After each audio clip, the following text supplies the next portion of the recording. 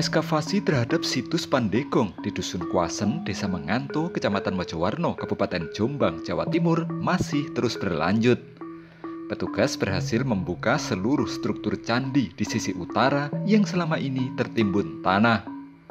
Kondisi struktur candi di sisi utara ini masih cukup bagus, hanya di bagian atasnya saja yang sudah rusak. Demikian juga dengan panil yang berbentuk palang Yunani atau tapak darah di sisi utara, kondisinya juga sudah rusak. Namun, petugas memastikan kerusakan struktur yang ditemukan ini belum terlalu parah dan masih memungkinkan untuk dipugar atau direkonstruksi kembali. Dari dinding di sisi utara, petugas juga melanjutkan penggalian ke arah timur. Namun, penggalian di sisi timur baru sampai pada sudutnya saja. Berbeda dengan penggalian di sisi depan yang dapat menemukan dua buah arca, yaitu arca Nandiswara dan arca Mahakala, hingga penggalian di sisi utara selesai, petugas belum berhasil menemukan satupun arca. Belum diketahui pasti apakah arca Durga yang seharusnya ada di sisi utara ini telah hilang atau masih tertimbun tanah di depannya.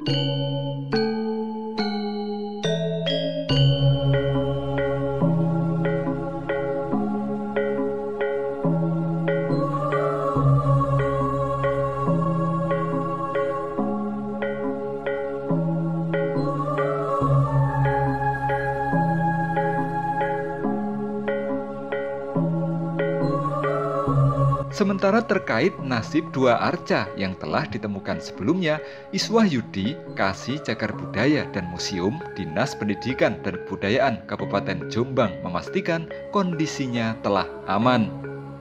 Satu arca, yaitu arca Nandiswara, telah diamankan di kantor Dinas Pendidikan, sementara satu arca lainnya, yaitu arca Mahakala, telah diamankan di rumah Kepala Desa Menganto. Warga desa Menganto berharap seluruh arca yang ditemukan nanti tidak dibawa oleh petugas ke Dinas Pendidikan maupun BPJP Jawa Timur, namun disimpan dan dibuatkan museum di desanya. Terkait keinginan warga tersebut, Dinas Pendidikan dan Kebudayaan Kabupaten Jombang tidak akan mempermasalahkannya. Hanya saja, menurut Iswahyudi, hal tersebut nantinya perlu dibicarakan terlebih dahulu dengan seluruh pihak yang terkait, termasuk dengan BPJP Jawa Timur.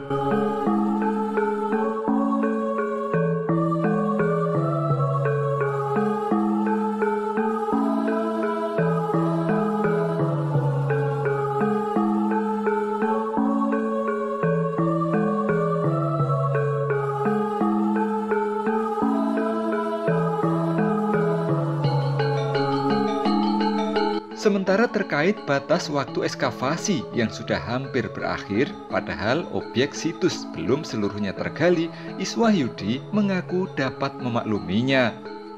Sebab menurutnya, kegiatan ekskavasi memang bukan sekedar kegiatan penggalian biasa, tapi kegiatan penggalian yang harus dilakukan dengan penuh kehati-hatian. Apalagi dalam eskavasi, petugas juga harus membuat gambar dan meneliti seluruh struktur atau benda cagar budaya yang ditemukan. Jika eskavasi kali ini tidak bisa selesai 100%, Dinas Pendidikan dan Kebudayaan Kabupaten Jombang mengaku telah menyiapkan anggaran lagi sebesar 325 juta rupiah untuk kegiatan eskavasi tahun 2022 mendatang.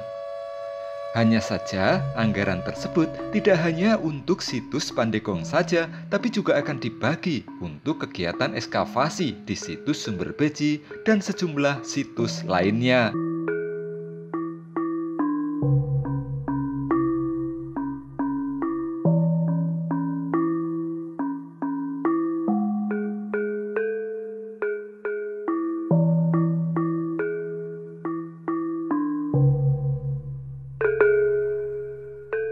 Barat. Ya mungkin yang sebelah selatan eh timur mungkin juga juga bersama. Hmm. ada yang salib apa apa itu. Kalau sama untuk temuan kemarin Pak dibawa ke uh, temuan temuan yang kemarin yang pertama yang nanti suara itu masih kita simpan di dinas pendidikan kebudayaan. Untuk sementara yang uh, hari Senin kemarin yang Mahakala? Mahakala itu sementara kita inapkan di rumah kepala desa. Rencananya nanti Pak bagaimana? Rencana ke depan kaitannya dengan arca-arca temuan nanti eh, akan kita bicarakan lebih lanjut eh, antara Dinas Pendidikan Kebudayaan, kemudian BPCB dan pemerintah desa. Ya nanti baiknya bagaimana gitu. Sehingga kita nggak mau nanti ke belakang ada sesuatu hal yang tidak kita inginkan.